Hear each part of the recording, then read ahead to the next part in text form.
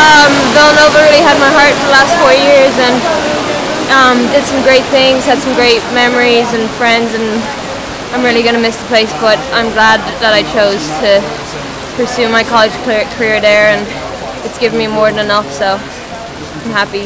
What do you think? Are you going to continue to pursue running after this? What are, your, what are your plans? Yeah, definitely. That's always been a dream of mine. So I'm, I've got, hopefully, I've got big things to look forward to in the future, and um, you know, just continue to do what I love and compete against some great competitors in the sport.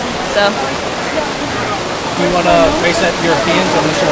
Yeah, yeah. Um, that's another goal for later in the summer. So I guess this is kind of my first season, kind of split into two.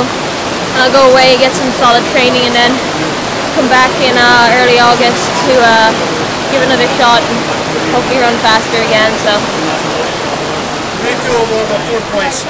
Um, obviously, as I said, like you always come out here to win, and ultimate goal was NCAA champion. But with the performance that was in it, I think I conducted myself pretty well, and as I said, it felt right when I went kind of towards the front with 200 to go, and I wouldn't have done anything differently. So on the day, you know, all the eight girls in the race are just unbelievable, unbelievably talented, and it just really depends on the day. So.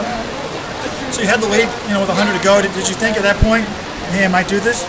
Yeah, I mean, when you're working off the the crowd and the magic of Hayward Field, like you, you feel invincible coming down that home straight. But um, as I said, there's eight big guns out there today, and we all know what it's like to race each other. And I think we really pushed each other, so I'm happy with today, and we uh, made the most of the weather. So nice job.